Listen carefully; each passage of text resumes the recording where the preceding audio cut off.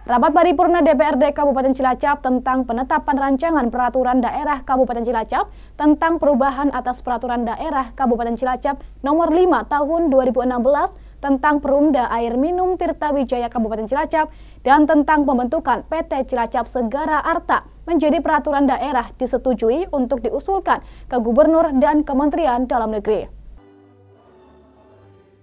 Rapat paripurna DPRD Kabupaten Cilacap tentang persetujuan Raperda berlangsung di ruang sidang lantai 2 Gedung DPRD Cilacap. Raperda tentang Perumda Air Minum Tirta Wijaya Kabupaten Cilacap dan tentang pembentukan PT Cilacap Segara Arta Perseroda menjadi peraturan daerah telah disetujui bersama oleh eksekutif maupun legislatif. Persetujuan bersama ditandai dengan penanda tanganan bersama antara PJ Bupati Cilacap dengan Ketua dan Wakil Ketua DPRD Cilacap untuk selanjutnya diusulkan ke Gubernur dan Kementerian Dalam Negeri.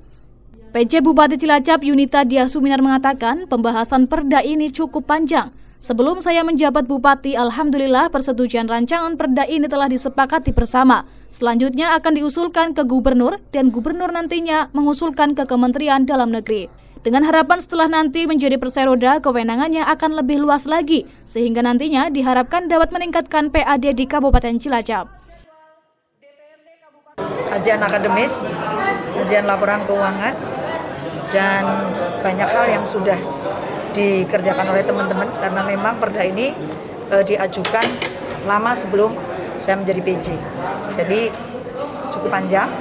Maka hari ini alhamdulillah penetapan persetujuan ya. Perancangan. Jadi persetujuan rancangan perda. Ya setelah ini harus minta registrasi dulu ke provinsi. Kemudian nanti harus ada persetujuan dari Kemendagri. Baru diundangkan baru dijalankan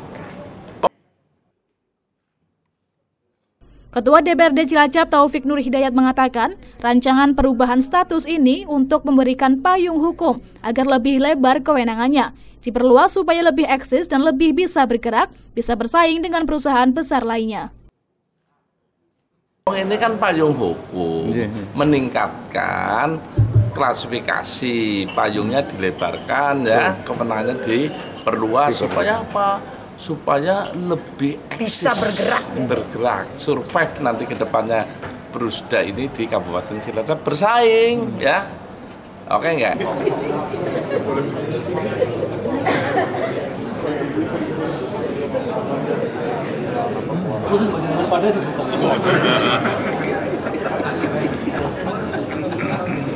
Jadi nama